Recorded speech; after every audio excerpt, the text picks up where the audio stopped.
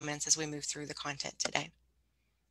Let us know where you're logging in from and what brings you to Job Club today. We'll get started shortly.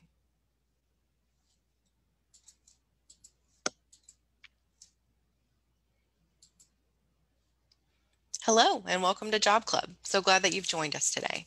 For now, locate that, um, that chat box and toggle the two icon from all panelists to all panelists and attendees to ensure we can see your questions and comments as we move through the content today. Go ahead and open up a Word document and minimize it so you can copy and paste re resources out of the chat as we're moving through the content. Let us know where you're logging in from today, what kind of work you're seeking, and what brings you to Job Club.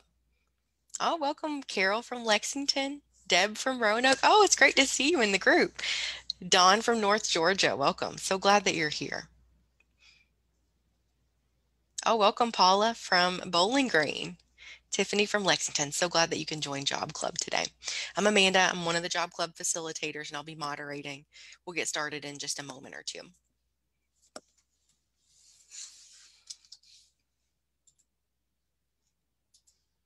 Welcome to those that are just logging in. We're so glad that you're here for Job Club today.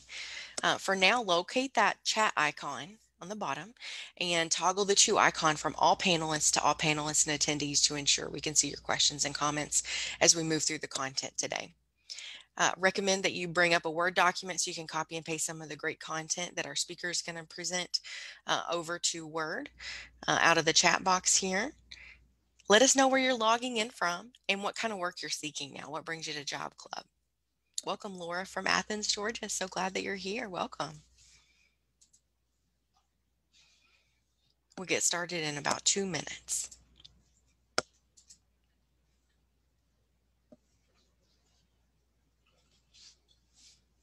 Welcome, Peg. Glad to see you in the group as always. Diana's in the chat box moderating. Let us know what kind of work and employment you're seeking. That helps us to know what kind of jobs uh, to target to share for our job leads as well. Welcome to those that are just logging in. So glad that you're here for Job Club. I'm Amanda, your moderator today. Locate that chat box and toggle the two icon from all panelists to all panelists and attendees to ensure we can see your questions and comments as we move forward with the content today. Let us know where you're logging in from and what kind of work you're looking for right now. We'll get started in about one minute.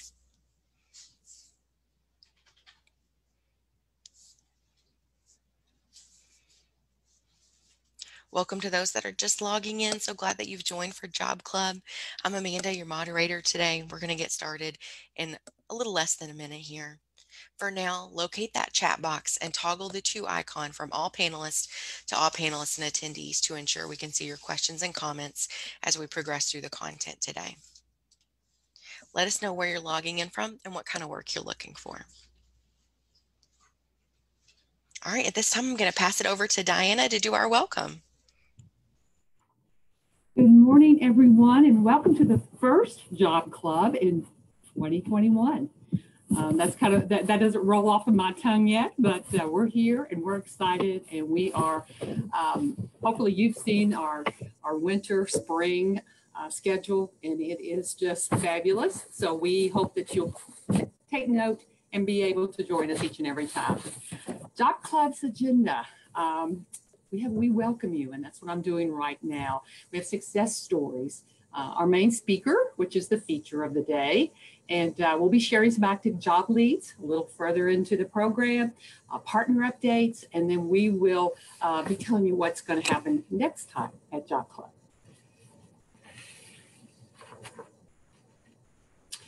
Job Club Facilitator, this is the team. I'm Diana Doggett. Um, I'm with Extension. Uh, we have Caroline Francis, Director of Alumni Career Services. Amanda is the Associate Director. And Nicole Wade, who can't be with us today, but she is the Employment Specialist with UK STEPS. Uh, shout out to Ellie Goodman, Hannah Sims, and Suzanne Smith.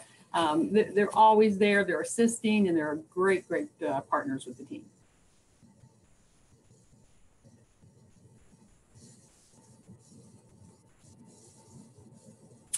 Job Club's mission, we do have one, and we, uh, uh, we, we honor it. It's to provide a positive environment for job seekers, to network, and to learn best practices for the job search. We meet on the second and fourth Tuesday of each month, and you can find the schedule of topics at www.ukalumni.net slash job club. Check out again that schedule for our winter and spring, um, and we think you'll be interested in, in attending every one of them. It is tentative, obviously. We are continuing to um, adapt and shift because of, of uh, COVID 19, but we are in Zoom webinar format due to that. Thanks so much, Diana. Caroline's still having some tech trouble, so I'm going to cover her slides. All right, welcome to our first timers. We're so grateful that you're here. If you're a first timer, feel free to let us know in the chat box. We'd love to welcome you to our group. Um, we do have great resources for you. So we want to make sure that you're aware of resources that the Job Club team has compiled for you. I'm going to copy and paste this content into the chat box right now for you.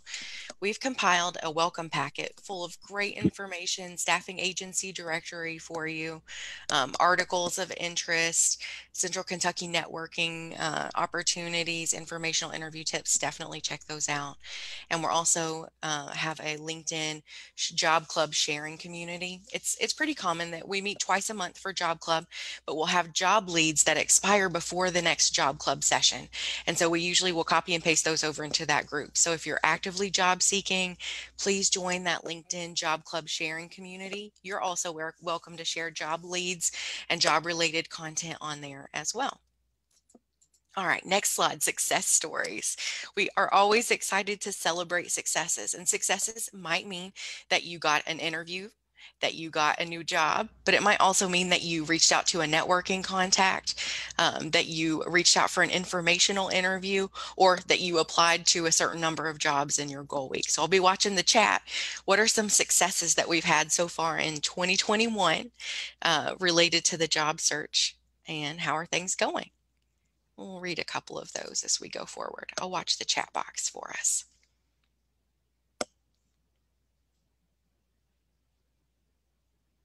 Watching for some of those to come through here.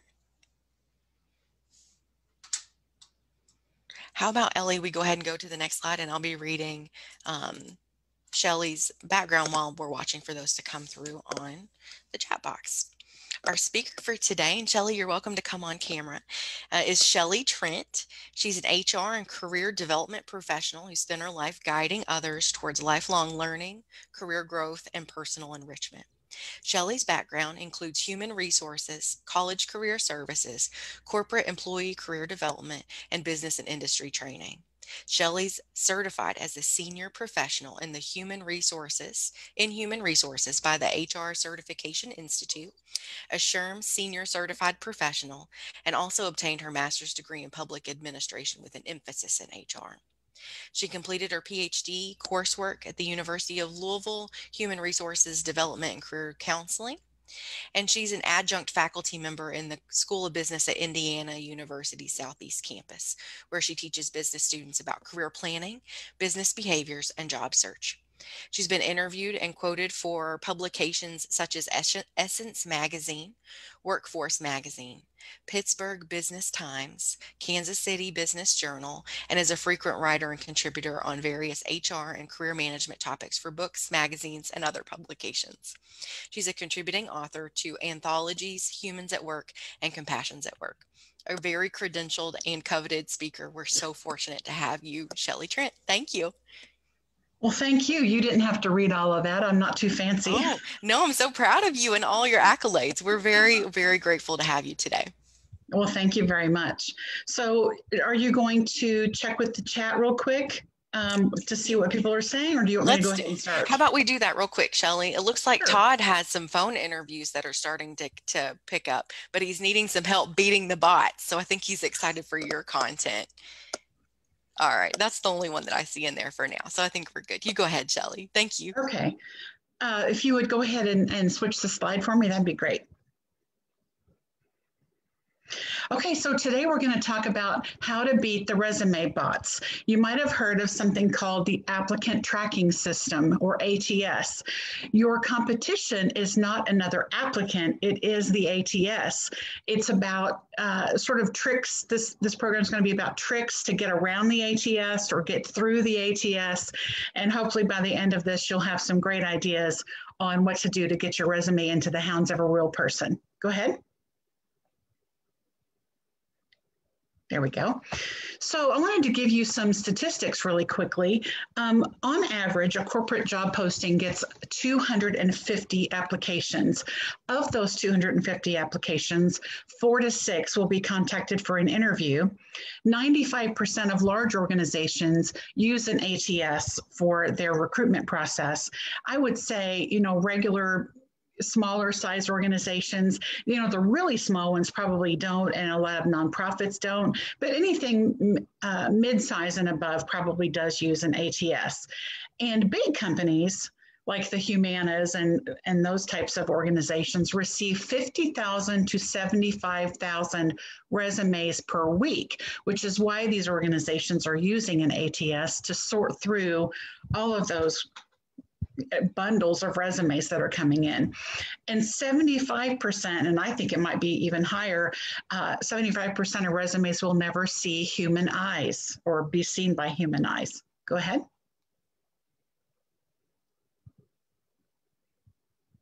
There we go. 40% of employers use an ATS. Now, the other one again said 75%, but that's larger organizations. But you won't know if they're using an ATS or not. So you really want to prepare your resume as if it were going to be seen through an ATS. And the ATS is set up to judge the applicants exactly as to what is listed in the job posting. So that is why it's so important for you when you're writing a resume uh, to write a, a separate specialized resume for each job posting. Because if you send a generic one, and the words from the job posting are not in your resume and cover letter, it will not come through to a person. The ATS is set up to look for things like misspelled words and poor grammar and will kick anything out that has errors. And 62% of companies who use an applicant tracking system admit that probably some qualified candidates are filtered out. So that's why you even have to be more diligent about getting those keywords in. And the applicant tracking system only knows to match the words in the posting. So if you use different words or flowery language or something else, it, won't understand that. And older tra uh, tracking systems use what we call ocular character recognition or OCR. So if you have things like uh, any graphics, a lot of lines, uh, bullets that aren't just simple bullets, like if you decide to use a check mark or a star, um, it, if it's an older ATS, it won't understand that. It only understands basic text. Um, and some ATSs are set up to just look at the first page. So if you have a lot of information on the second page uh, that matches with the job uh, posting, it might not be seen. So I'll tell you more about how to how to beat those tricks or how to do those tricks in a second. Go ahead. As I mentioned, most of the time a person might not even see your resume until it meets the criteria from the ATS. They rely on that to sort through and pick out the best few. And then a person looks at the ones that the ATS said, these are good. So you want to be sure that you are using the keywords, and I'm sure all of you have heard about keywords. You want to make sure uh, that you're using those keywords in the resume and those are in the job description. So carefully again, uh, check what the, the wording is and use those wordings.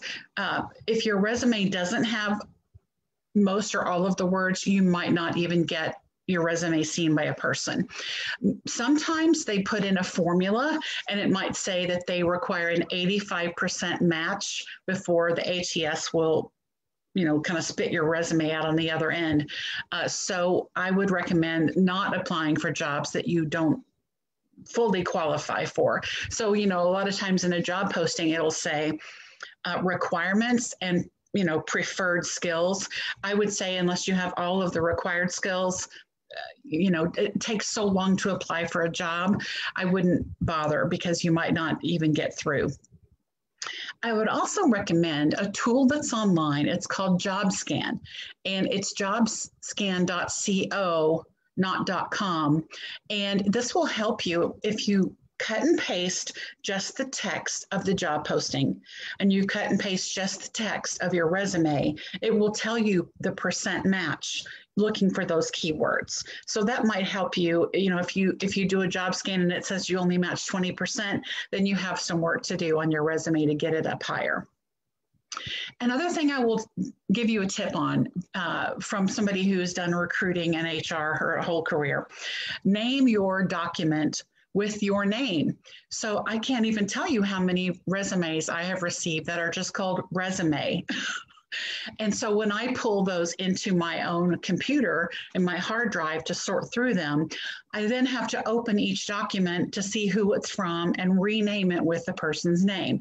So that will be so, so helpful to the HR person if you actually have your document named something like I have here with your name. Thanks. Next. Keep your formatting simple. As I mentioned, the ATS can't really read symbols, lines, logos, pictures, shading, tables, boxes, things like that. Some of them, if they are older, as I mentioned, they're only set up to read um, the words. And so if you have a lot of fancy formatting, eh, you know, headers and footers, things like that, the ATS may not be able to read them. I would also say don't use a template uh, some ATSs can't read that as well. Now, I know you want your resume to look really pretty. So here is an option for you. When you're filling out the online application, you can put in your basic uh, resume that the ATS can read. Sometimes it gives you the option to upload multiple documents. Then you can upload your nice looking resume in a PDF uh, so that you know they, they can see both they can see your beautiful resume that you've worked so hard on and they can uh, see the, just the basic text from the, the one that you'll send through the ats you want to include only the usual sections of a resume. So, so thinking of experience, education, skills. If you have headings that have uh, a not very usual or customary heading, the ATS might not be able to read those things like affiliations. And again, some ATS programs can't read a PDF, which is why I say send your, your resume in Word. And if you have space for extra attachments, then you can send a PDF of your attractive resume uh, so that whoever sees it on the other end will have both. Uh, again, it must be very simple or it will lose formatting uh, pretty much uh, an ATS will convert it to a text file. Um, and this is what the ATS will see. Again, when you're looking at the online application, it usually will tell you whether it accepts a PDF or a doc, docx, etc. So if you upload what it says to upload, you should be fine. Go ahead.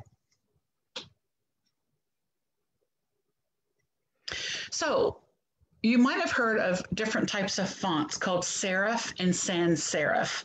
It's harder for an ATS to read a font with a serif. And those are the ones with the little kind of curls or edges on the letters like Cambria, Century, Georgia, and Times New Roman so it's best to use a sans serif font, which is very simple to read. It doesn't have the little curly cues.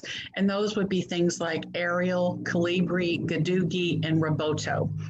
I would stick with probably Arial or Calibri just because most people's computers uh, have those uh, fonts available. They might not have Gadugi and Roboto. Go ahead.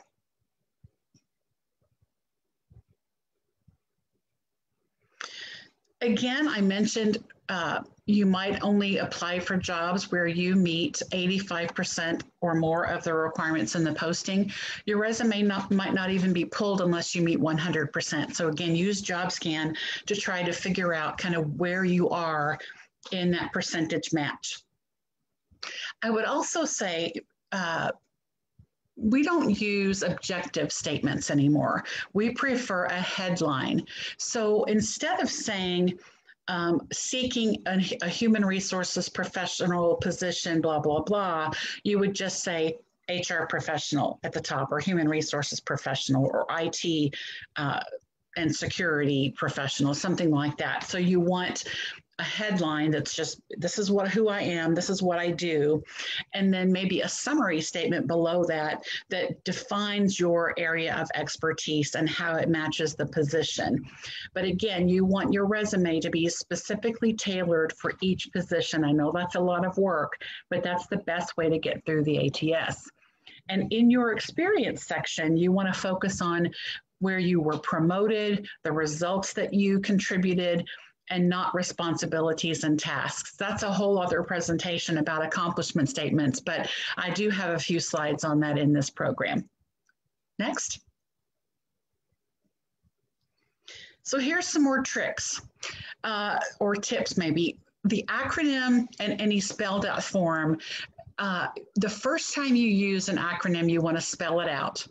So uh, for instance, applicant tracking system, and then in parentheses, ATS. So if you're doing that on a resume, don't assume that the ATS is going to know what these things stand for. Even things like CPA, MBA, if, if the job posting says MBA, it's probably going to be set up to notice MBA. If it says Master of Business Administration, it might not be set up to understand MBA. So you want to be sure that you always put both the full spelled out words and the abbreviations because the, you're not sure uh, which one the ATS is set to do. Uh, but you can look at the job description and try to figure that out. But I would always do both.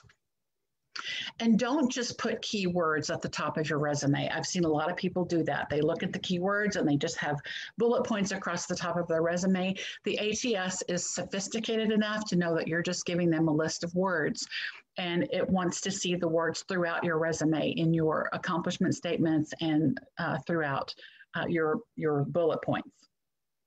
I, get, I mentioned using an, uh, a headline at the top and not an objective statement. So things like financial analyst, human resources professional, sales associate, or marketing and communications manager. So those are the things you want to put as your as your uh, headline. Next one. So let's look at this uh, example. So you can see, and I, I just made this up. So job requirements that are listed in an advertisement. I'm also going to tell you how to uh, bring a little wow factor. So the job requirement says two years experience in marketing. And please do note that years has an apostrophe after it unless you say uh, years of experience. So if you say two years experience, you need that apostrophe. Uh, so two years experience in marketing, create mail promotions, develop brochures, reach target, research target audiences, analyze sales figures, maintain ba- database of customers, and take calls from customers and resolve issues. So those are the requirements listed in the ad. If you go to the next one. So your resume says very simply two years experience in retail and restaurants, typed letters to send to clients, helped with the newsletter to mail to our customers, performed data entry to maintain a client list, created flyers about our products, attended and took meetings of uh, minutes of sales meetings. And that again, we talked about accomplishment statements. So that is just a list of duties. You want to give it some punch by adding those accomplishment statements. So if you think as you're writing about the who, what, when, where, why, how, how much, how many, all of those things added to your uh, list of duties makes it more of an accomplishment statement. So let's take a look here. Two years experience in the retail and restaurant industries, resolving customer issues. Produced company newsletter on our products and services that was sent to 10,000 customers per quarter. Maintained client list of over 50,000 in database, ensured contact information was consistently updated, merged mailing lists into our database. Promoted company products through creation of four marketing pieces per month, attended sales and marketing staff meetings and gained knowledge of analyzing sales figures. You're not lying on your resume um, just because you use better terminology. So instead of listing duties, think about how to, to answer those questions that I mentioned. Uh, go ahead, next one.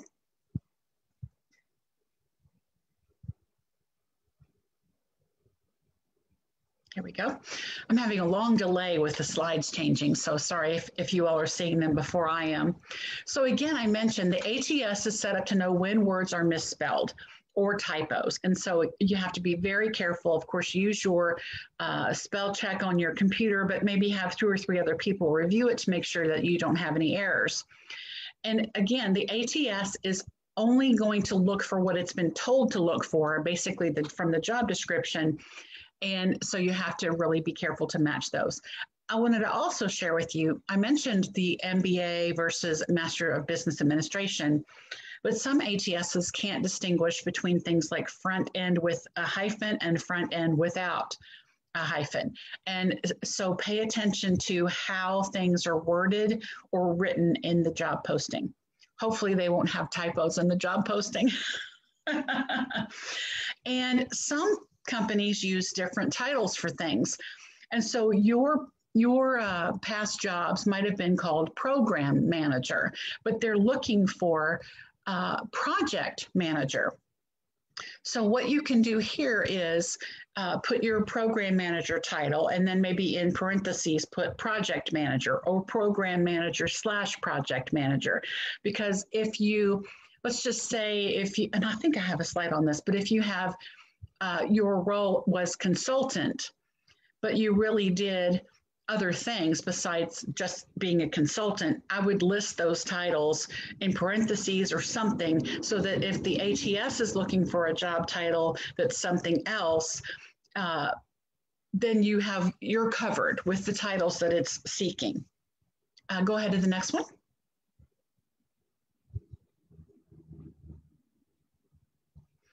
You also want to use bullet points and action verbs. You don't want to say anything like I, me, my, mine, my responsibilities included. You want everything to start with a, a bullet and an action verb.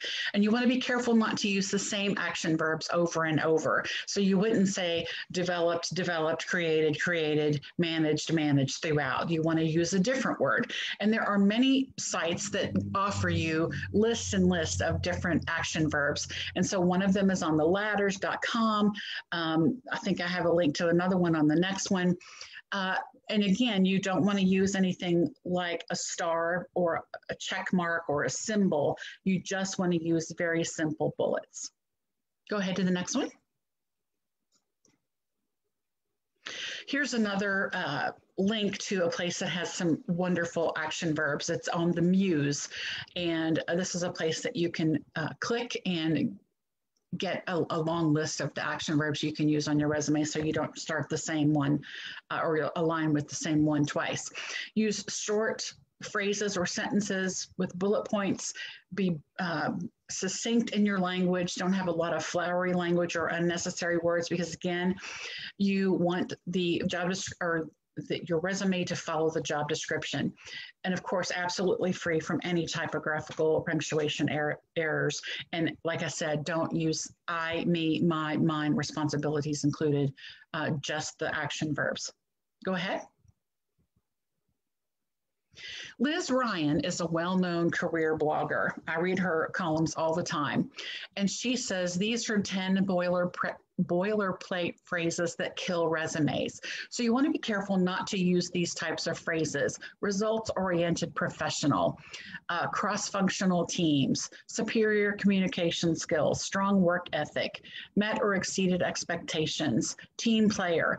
The reason this these don't matter is that anyone can say them you need to prove it on your resume how you were these things. And so if you say, I'm a team player, it would be better to give a description of a time when you were on a team and the outcomes that your team uh, was able to make. So maybe you were given a project and you your team finished it a week early and uh, you got a new account because of that. So you want to prove these things on your resume and not just use these words you know, kind of throw them out and see if they stick.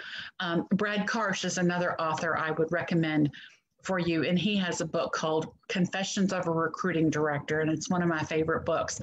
He's a friend of mine and um, it's fabulous. I use it in my classes.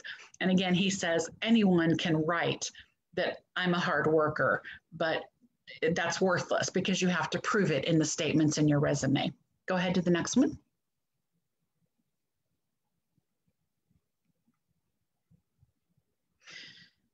Say what? 50% of resumes are never read. So I know that's a very disheartening statement, but it's true. And you have fewer than 10 seconds to impress the reader, usually an HR professional recruiter. Uh, some people say six seconds. So that's why you want to have everything uh, on your resume easy to read, easy to scan. Typically, they're quickly looking for job titles, companies where you've worked, your start and end dates to make sure you're not just staying someplace six months and leaving and your education. Uh, some quotes that I wanted to share with you. The resumes that caught my attention were ones with specific measures of success. And again, that goes to those accomplishment statements. And it's a highly subjective process. So I advise people to be clear, concise, organized, and put the most important stuff on the top of their resume where the reader can find it. Next slide. We're going to talk about that as well in a minute, the, the funnel uh, of a resume. So again, I wanted to share uh, just a few examples of accomplishment statements to help you because this is the hardest thing uh, people say about writing a resume is doing accomplishment statements. It does not mean uh, an accomplishment doesn't mean that you've won awards necessarily, you've been the employee of a month, whatever that means. Um, it means to quantify or qualify statements in your resume. So let's take a look here. A poor example would be provided excellent customer service. Because as I said earlier, anybody can say that, but you have to prove it. So let's just look down to the best one. Recognized by supervisor for tactful dealings with difficult customers, received award for having the highest customer satisfaction rating for the quarter. Next one. A poor one would be trained employees a better one, uh, or let's just go to the best, developed customer service training program and presented it to 100 staff members over a six month period, resulting in a 110% increase in customer satisfaction levels. And you're not really saying you, you won an award necessarily, you're just giving data of how, again, that who, what, why, where, how, how many, how much, those types of things. Go ahead. Another one, uh, taught self and others to use QuickBooks and set up first computer-based bookkeeping system for, for small business with over 300 accounts. Next. So in each job, think about what you did to set yourself apart. How did you do the job better than your coworkers? What did you do to make it your own? What special things did you do that your boss recognized? Think about excuse me, think about when you had your performance review. What were the good things your boss said in the performance review? What things did you get complimented by from your coworkers or people you worked with? Uh, or supervisors or people maybe even in another organization who you had a relationship with. Think about all of those things. And again, uh, the, the who, what, why, where, I have a list there to help you think about as you're writing every statement of your resume that if you can put any of this information in there, it will help you. How did you make money, save money, save time, make work easier for yourself and others, solve problems, make your company more competitive, build relationships with others, expand the business, attract new customers or retain existing customers. And there are many, many more, uh, but these are some ideas to get you thinking about accomplishments. Go ahead.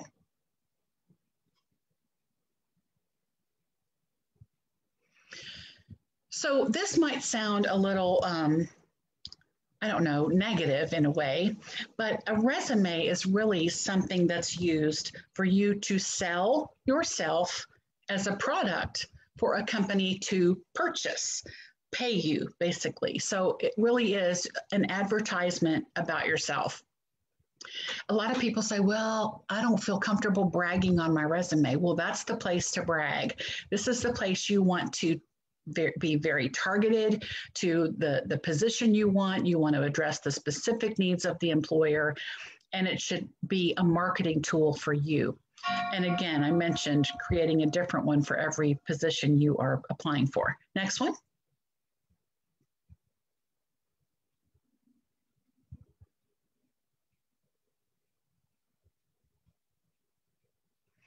One page resumes are preferred for most entry level positions and uh, without a lot of experience. Two pages are acceptable if the information on both of the pages is relevant to the job posting.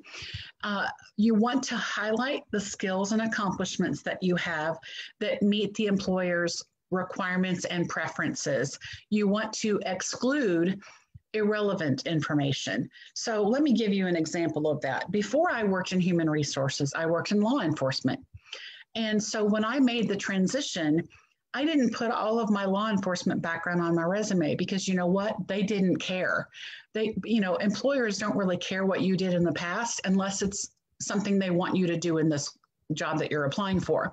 So if you're putting every duty you've ever done in every job you've ever done, stop doing that you only want to list the duties and experiences that relate to the job you are applying for.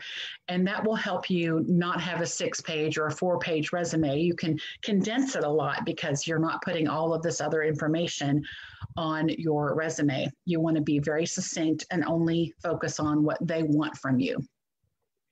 Go ahead. So this is the funnel I talked about where you're you might have remembered that I said an ATS sometimes is only programmed to look at the first page. But no matter what you do, you want to put the most important information from the job posting at the top of your resume, secondary information next, and then other information at the bottom. So let me give you an example of that. Many years ago, uh, an HR person asked me to take a look at his resume. He had been applying for jobs for months and had never heard anything back. So he sent me his resume, and the top of it, he didn't have a headline that said HR professional. Uh, he didn't have information at the top that related to what he was looking for. The top of his resume, his current job, was soccer coach. And I said, if I were looking at this, I would probably not read any further. I would say, soccer coach, how did this get into this pile for HR? I would put it aside. He should have said HR professional as a headline. He could have said something that uh, in his summary statement that he was seeking to return to the HR profession. Um, he could have put his relevant experience at the top and his education at the top because he had a degree in HR. But he didn't. He used the soccer coach job. So you can redo your resume so you can have rele- relevant experience at the top that matches the job posting and then other experience at the bottom if there's something that you want to highlight. Sometimes what I do is if the job posting says that there are three main things that they're looking for, I will make a bullet or um, uh, a heading and put the stuff uh, on my resume. You know, if it says communication, public speaking, this or that, I'll put my bullets at the top with those things that they're seeking, and then just put at the bottom. Uh, my dates and, and titles. So I'm not putting everything under you know it wouldn't have to be soccer coach as my my most recent job. I can put the hr experience and then the soccer stuff at the bottom or even just leave it off uh, unless you're worried about having a, uh, an employment gap. But, but again you can just put that in there as the dates and the title and focus on the most important stuff first because that's what they're going to pay attention to is what's at the top of the page. Next one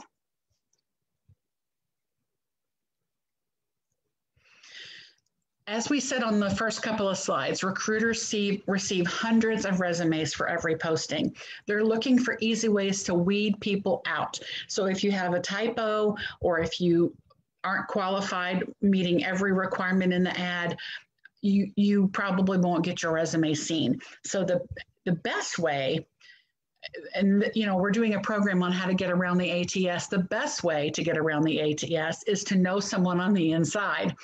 Uh, what i say is that if you're on linkedin and i hope you have a linkedin profile and that you have a very robust linkedin profile uh, you might have a friend or someone who works at the company you're connected with.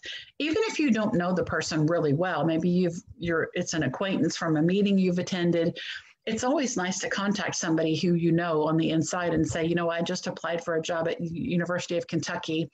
And if you know anybody in the hr department will you put in a good word for me? And that's okay. That's what linkedin is for is for us to make professional connections. Uh, go ahead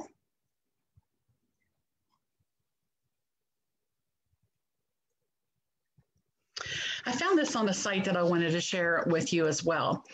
More than 90% of employers are looking on social media for new talent. Now, I'm not sure if you're aware of this, but most of, or a lot of LinkedIn's revenue comes from recruiters who pay to be able to do specialized searches on LinkedIn.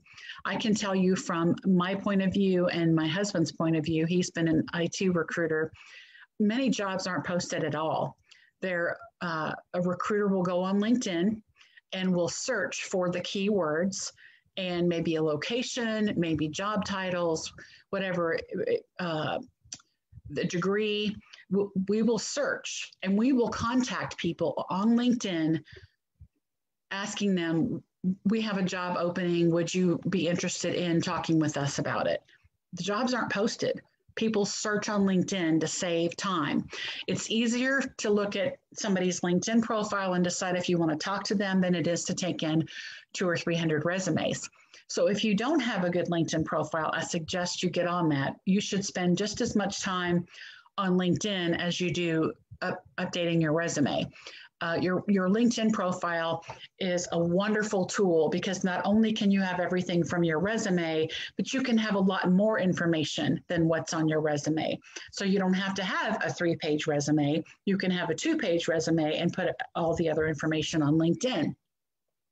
73% of recruiters have hired someone who was introduced to them on social media. So I suggest that you you you make as many connections on linkedin as you can.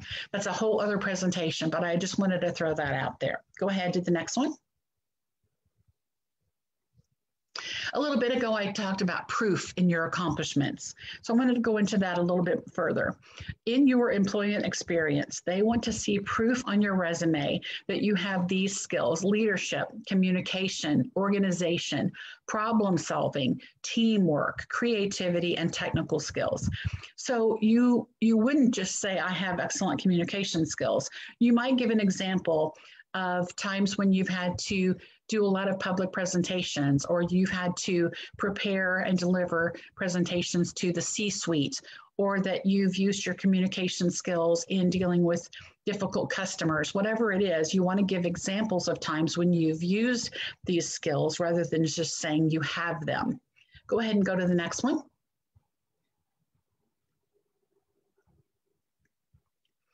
So here's another thing to help you get around things in the ATS.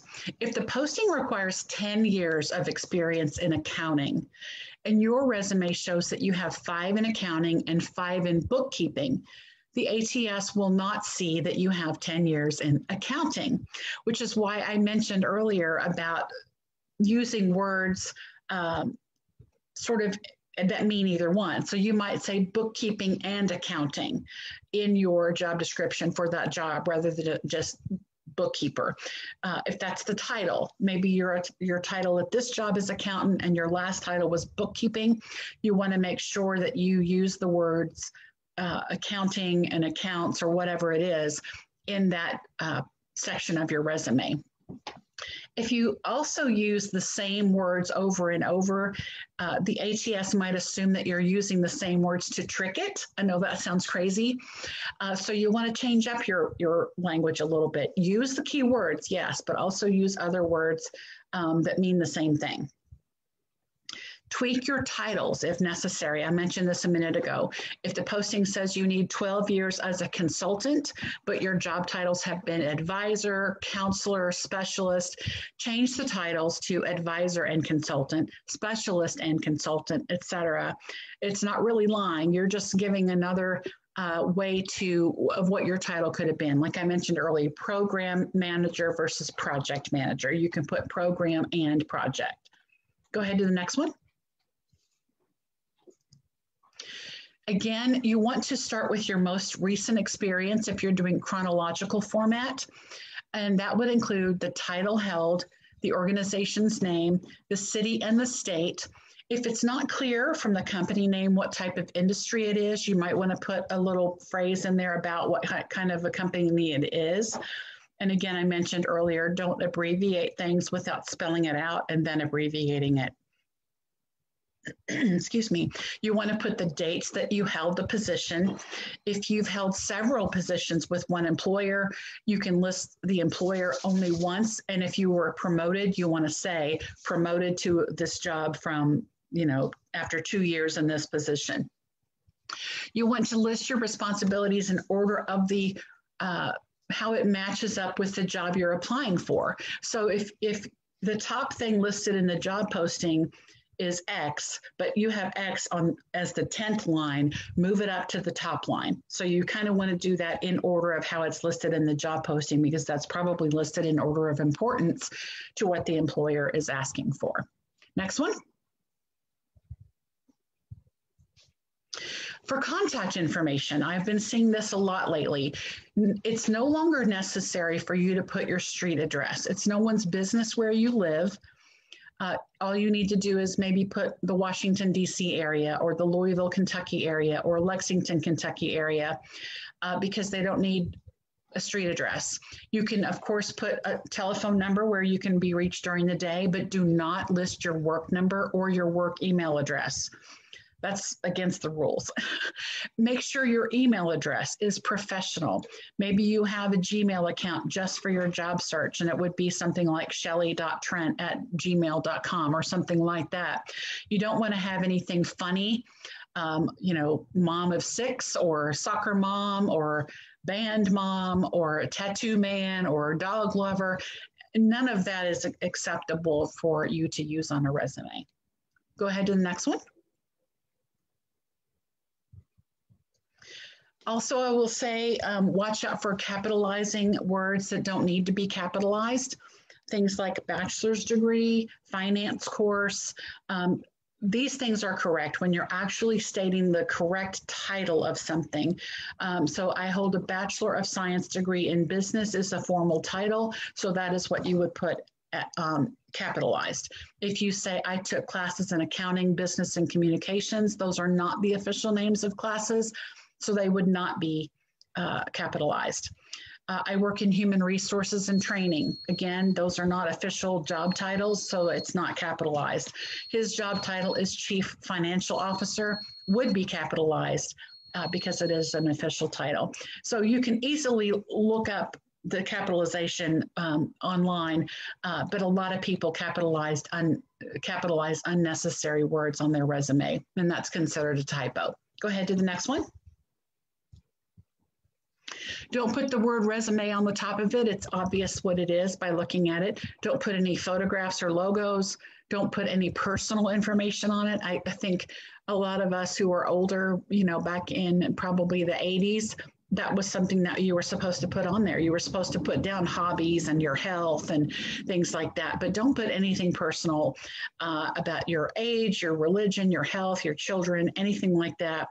Also, I would say it's okay for those of you who are over 40, it's okay to leave off information from your resume, like dates that you graduated, because they can figure out how old you are if you put what year you graduated from college. Also, you don't have to go back any further than 10 to 15 years of work experience on a resume. So you don't want to go back 25 or 30 years because, again, they can figure out how old you are from that information. You don't want to list your reasons for leaving. You don't want to put your salary history in your resume. You don't want to use a lot of different font, uh, font styles and, and again, underlines and things like that. And you don't want to uh, list anything like churches, your political affiliations, etc. Go ahead to the next one. You want to, uh, when you're filling out the online application, you want to follow the directions to the letter. If there are blanks for things to be filled in and you skip them, you probably will not be seen by a human uh, person to look at them. They'll be thrown out of the ATS. Don't leave any blank fields. if the application requires a typed response in a box and they have space for you to put 5,000 characters, it's likely that they assume that you're going to put a longer response in the box. If it only gives you 100 characters, the opposite is true. They they are expecting a response for probably as many characters as it offers you. Federal resumes are this way for sure. You know, you might think I'm just going to put in my bullets of my job duties and things, but they give you this much space in a federal resume and they want you to use all that space. Keep information on all of your former employers their phone numbers, their street addresses, your supervisor's name, your exact dates of employment. Keep this information handy. Here's why I say that. I knew somebody in college who uh, he had worked seasonally for Dollar General loading trucks. And he was looking for a, a, professional job. He'd already had a professional job. And he guessed when he filled out the online application, he just guessed at the dates. He didn't know for sure. So, you know, he might have put May 1st, whatever, through September 1st, but the actual date might have been May 20th through August 30th. Well, they checked with Dollar General to see what dates of employment he really had. They told him when he didn't get the job that he'd lied on his application by putting the wrong dates of employment. So you want to be sure, or as sure as possible, about your dates of employment when you put them on the job posting. I mean, in the in the application. So be careful with that. It might not happen with with every ATS, but I know it happened with my friend. Don't lie on an application. Maybe you are one credit hour short of having a degree and you put on there that you have a degree. Well, if they find out later that you didn't have a degree, you can be fired for lying on your application. Ensure that the formatting on your app, on your online application is tidy. What happens typically is that the ATS will pull data from the resume you upload into fields. And if you just assume that it pulled it into the right fields, you're probably wrong because it probably pulled weird information into the fields. And maybe even when you put bullet points, it has some weird character like an ampersand or, a, you know, whatever exclamation point. You want to go through that application and make sure that what the ATS pulled into those fields is correct and is formatted nicely. And uh, if they give you space to upload a cover letter, absolutely upload a cover letter. And you want it to be, and that's a whole other presentation, but you want it to be very specific to the job posting, not just as, as you can see on the enclosed resume, blah, blah, blah. You want to outline in the cover letter why you meet all of their requirements. Um, again, if they only allow you to upload one document, make page one the cover letter, page two and three the resume. Go ahead. Have your cover letter and resume ready to submit before you start completing the online application because many of them time out. It might be you think it's only going to take you 20 minutes to get everything ready and then you decide to redo your cover letter and then it times out and you have to start over. Uh, so that's just a tip. Have at least three references that you've already asked permission to use because a lot of times these online applications will say, please list three references and you're going to need their full contact information, how you know them, whatever their job title, you're going to have to have that. So get that ahead of time and get permission to use them as a reference. I already mentioned, you know, saving your resume with your name. Uh, and again, I, I, mentioned this as well. I'm kind of getting ahead of myself. The ATS pulls information that goes to HR from the boxes you fill in on the application. So they might not see your actual resume, they'll see the text that the ATS has pulled into a format that they print out. So pay attention to that form. Next one. Uh, just a few other tips I wanted to share. I already talked about a couple of these. Always send a cover letter that talks about how you are uniquely qualified for that position and not just a short paragraph that says, as you can see on the enclosed resume. You want to use a formal cover letter style uh, with your contact information at the top. You know, look online for how to write a formal business letter. we talked about a LinkedIn profile. Many candidates or many employers look there and they don't post jobs. Uh, have your LinkedIn profile on your resume, but make sure it's a web address because I've noticed lately with updates to, I guess it's Google or something, sometimes when I go to a LinkedIn profile or any website, instead of giving me the HTTP blah, blah, blah, it just it says like Shelly's LinkedIn or, or whatever. So make sure it's an actual HTTP address so that if they don't have a live link to your resume, it's going to be something they can type into the bar. Clean up your social media because employers look at your Facebook as well. And if it's not private, if it's just open to the public and you have strange things on there or parties and drinking or whatever it is, that's not going to look good for you.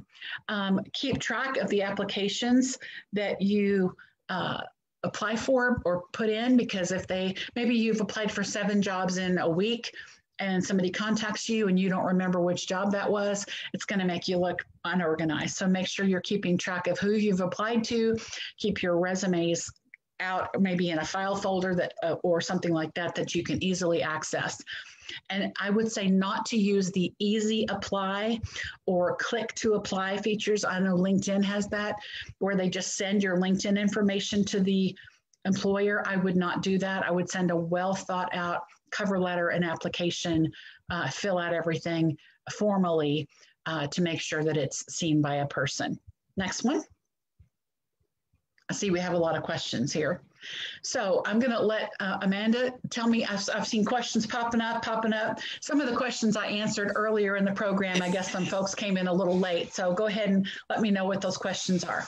All right, you ready for a lightning round? Sure. Looks like I've got five or six for you. First Okay. one How do I handle explaining what I've been doing if I don't put all of my past jobs on that resume? If what I said about that was if your past jobs relate to what you're going to be doing, you can list them.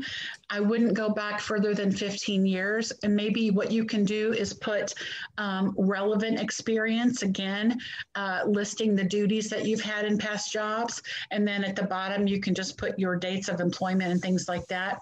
And they don't have to know that your relevant experience. If you're just bullet pointing my communication skills, my public speaking skills, my customer service skills, whatever it is, they don't have to know what job that came from. So you can just put, you know, your dates of employment and your titles at the bottom, and you don't have to match up what goes with what job. Great advice. I'm going to combine two questions here. It's related to career change in the resume. How can you address the skills that you need to get past the ATS as a career changer? By using transferable skills. So if the if the job posting uh, requires, let me think of an example here. Um, we'll kind of go back to the accounting and bookkeeping. If it requires that you have been an accountant and you've only been a, a, bookkeeper, you can sort of double up those words. Say, I did accounting and bookkeeping, even though it was only bookkeeping, you know, it kind of comes out in the wash. Um, or like I did, uh, my own example, when I transferred or changed over from law enforcement to HR, I left off all the duties I did in, in, law enforcement that weren't related to HR. I only focused on things that related. So I talked about helping the parolees get a job, helping them go back to school, record keeping, confidentiality. So I only focused on the duties that were transferable to the new career. Excellent. Um, given the recommendations here, do you recommend a service like Top Resume, asking since each application gets its own resume? Say that again. I think it's asking if you would recommend a service like Top Resume, a, a resume writing service.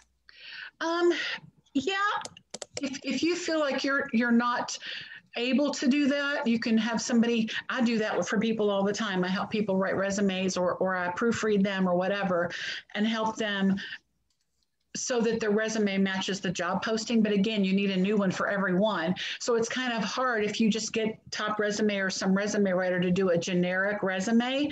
It's not going to serve you well because you need to have a, a, an updated resume for every job. So that's a yes and no. Okay. I see a few more coming in. If they're easy, quick questions, I'm going to answer them in the chat.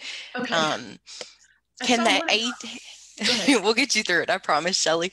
You're Can the ATS access the metadata from the Word document as it's scanning it? I think it's more Um, about how does the ATS work? Yeah, and I think so. And I heard somebody the other day telling me that they had heard about a trick where uh, they put a bunch of words in and they were invisible, like they put in things behind the text or in a header or something that were just a list of keywords. I wouldn't do that because that's, you know, if, if they see what you've done, that's sort of seen as cheating. Um, I don't know if that's the answer they're looking for, but people can contact me if they have direct questions. My email is on the account or on the page. Excellent. Excellent. Um, let's see I saw something about contact information. I mentioned Yes. that you don't have to put your address, just put your name, your email address, and your phone number and your LinkedIn link. Even on the cover letter, is that okay? Yes, and, and the city state's fine. These days, a lot of things are remote, but you know, Lexington, Kentucky area, Louisville, Kentucky area, that's fine. Two more questions. I get conflicting information about graduation dates and old jobs. I'm in the medical field, uh, 30 years of experience. What should I do? Well, I, also saw somebody had put down there about um, listing dates and can they ask me for my graduation dates on the ATS. The sad thing is that even though it's illegal for HR people to discriminate against you for being a certain age, they still ask for dates on the ATS. I think that's bad practice, but some of them do. They'll ask for your date of graduation. They'll ask for your uh, dates of employment back to whenever. Um, you have to put them in if they ask for them. Hopefully, they're not going to use them to discriminate, but you don't want to leave any fields blank. Uh, you know, going back as far as you can for nursing, maybe the job you had 20 years ago is the most related to what you want to do. So you have to sort of weigh uh, the good and the bad and, and decide for yourself if, if it's worth it to put something that old. Um, and again, maybe in nursing, the more experience you have, the better it is. But in some fields, it's experience is always good, but age is a problem. I'm doing a presentation uh, next month on ageism because it is a thing. Where's that presentation at, Shelly? We want to we want to log in and listen too. It's actually through the uh, Northern Kentucky uh, Accountability group. Group. Yes. Yeah, that's We awesome. On ageism. So The so the Northern Kentucky Accountability Group, for those that are listening in, is another job club, similar structure to us, um, that's out of Northern Kentucky, the Kenton County Library. Fantastic resource. All right, that actually addressed the other question too. So Okay. at this point, at this time, I'd love to fill that chat box with gratitude for our speaker, Shelly, as we're transitioning over to our next part of the program. We're going to talk about active job leads next. Shelly, we can't thank you enough. We know you have another meeting to get to, um, but we're so, so grateful for your time and expertise. Thank you so much. you're welcome. And my email address is on the screen. I'm happy to answer additional questions if needed. You're getting lots of love in the chat box. Thank you Oh, so well, very much. Okay. Bye, everybody. All right, Diana, we're ready for your next step in the program. Thanks so much, Shelly. Um, my head is just spinning. I'm taking notes. I'm writing on my on my Word document, and just a lot of useful information there that for personal and that we can share. So thank you again. Uh, this is the time for um, attendees to share job leads and job uh, targets via our uh, chat box. So um, we'd love for you to utilize that right now. If you are an employer with an active job lead, click uh, your raised hand function and we can allow you to uh, announce that um, uh, uh, publicly. So either way works, and we'd love to see some some um, jobs listed here that we can share with our audience. I think we had uh, someone that was going to have to leave earlier, and she um, this is Andrea Murray, and uh, she has a tax compliance supervisor position, and uh, it's open in the accounting department. So um, she listed that in the chat box. Um, she has has the uh, uh, the contact information, the website there, um, and it's with the Eastern Kentucky uh, Cooperative uh, Work site. So you might check that one out by Andrea Murray. Okay, let's slip on down. We're still getting lots of uh, accolades for this this program, and we we appreciate you you sharing your appreciation. All right, so any other job leads that someone would like to share that they're aware of? I might mention that um, if you do have a job lead, uh, please send that to us by 12 noon today. And uh, the address is on your screen, UK Alumni Career at uky.edu. And we will include those in our post-meeting job lead list. So those are very helpful for you to review later, to take, uh, to do some research, take action. So please email those to us by noon today.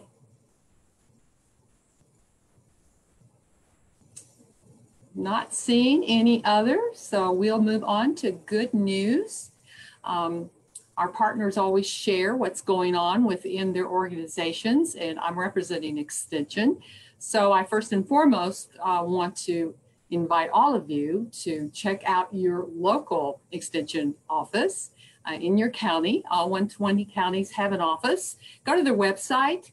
Um, there are Facebook pages. There are lot. There is lots of information for you to to view and to participate programs. So uh, we, we encourage you to do that. Um, I'm going to mention a couple that I'm engaged in. And um, currently, and I, I had, uh, uh, had already put that on, but I'll just do that again. Let's see. Flip to the next. Yeah, there we go. Um, so I'm, I'm doing a program now. And It is called Kentucky Cancer.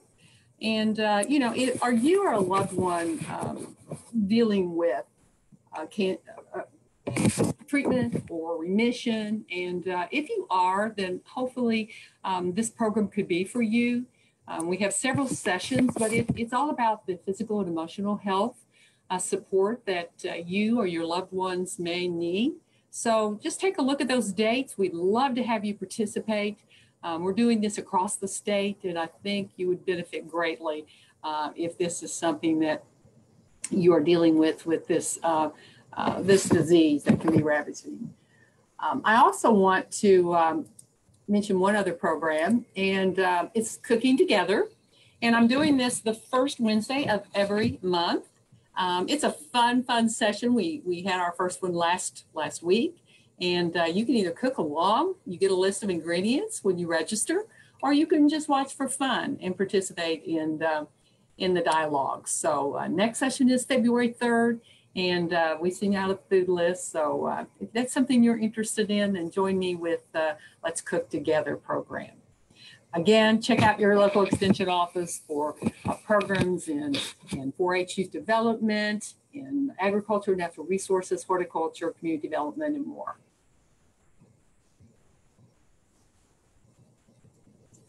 Thanks so much, Diana. All right, next up, quick updates from Alumni Career Services at UK. Um, my name is Amanda. I'm the Associate Director for Alumni Career Services. If you're interested in career counseling services, anyone can join the Alumni Association to be a Life or Active member. Uh, feel free to reach out to me. I just put my email in the chat. We do have some programs coming up soon that I want to make you aware of. I just put that information in the chat as well. Um, next Wednesday, we're having a webinar that's free and open to the public, career management webinar series, setting up your remote office. So we'll have uh, a, a fellow talking about ergonomics and how to set up your remote office if you're working from your couch right now, if you're working from your kitchen counter, how to avoid a back pinch. Uh, that can be really helpful. Registration is going to open soon for our Clifton Strengths Assessment Workshop. This filled in three days when we offered it in October via Zoom. So if you're interested in that, please watch the registration page uh, for that to come out soon. Should be coming out in the next couple of days. And then um, February the 17th, next month, our career management webinar series, the resignation process, practical tips for job transition. Registration's open for that right now. Um, next slide for me, Ellie. Um, our partner from UK Steps is out today, so I'm going to do her update briefly. Uh, for those of you that are seeking employment at the University of Kentucky, UK Steps temporary employment is a great place to start your career at UK. I started my career at UK in Steps. Um, great opportunities on there. I just copied and pasted the link to that job board into the chat box, but a great way to get connected. And we'd love to see you join the UK team. All right, last slide. Next time at Job Club, we are so excited to host Chris Bollinger uh, for the economic outlook, looking back, looking out, and looking up. Impacts of COVID 19 on the economy have been so interesting. I watched him do a 1.0 version of this talk uh, a couple of months ago, and he's going to update that data for us uh, for our next session. So that'll be the fourth Tuesday of the month, January the 26th. And you can register. I'm going to put the direct link for registration into the chat right now. On behalf of the UK Alumni Association, the UK Fayette County Cooperative Extension Service, and UK HR Steps Temporary Employment, thank you so much for logging into Job Club today. We wish you all the best and we hope to see you again in a future session. Bye bye.